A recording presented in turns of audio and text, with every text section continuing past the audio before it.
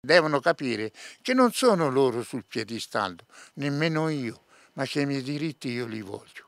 Domenico Scatraglia, un ultra ottantenne disabile al 100% riconosciuto dall'unità operativa di medicina legale della ASL Toscana Sud-Est nel 2007. Risiede nel comune di Arezzo con la moglie, anche lei con importanti problemi di salute.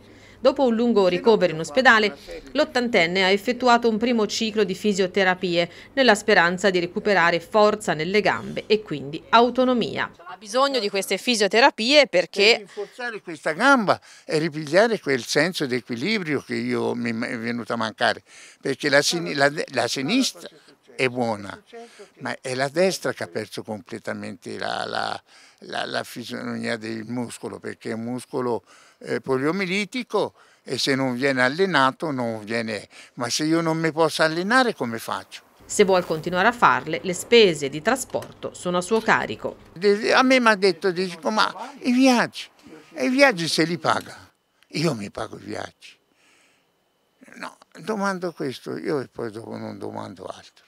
Se questa è la nostra sanità, se, se, se sono verso i più fragili o meno. Domenico ha un ISEE che supera di poco i 16.000 euro l'anno e quindi, secondo le nuove disposizioni della Regione Toscana, non rientra tra coloro, la soglia è di poco più di 9.000 euro, che hanno diritto al trasporto gratuito. Lui contesta proprio la regola nella quale sono incappati migliaia di cittadini nella sua stessa condizione. Di sicuro però non è una condizione di chi si piange addosso, sarei disposto, ci dice, a raggiungere autonomamente il luogo delle terapie, poi però precisa, una volta che sono lì, chi mi aiuta a scendere la carrozzina? Eh, e dopo che mi scendi? Se non ho la carrozzina qui? Io non voglio commuovere la gente, ma la gente deve capire che questa, ci hanno tagliato le cose, tagliato, ma io sono diritto.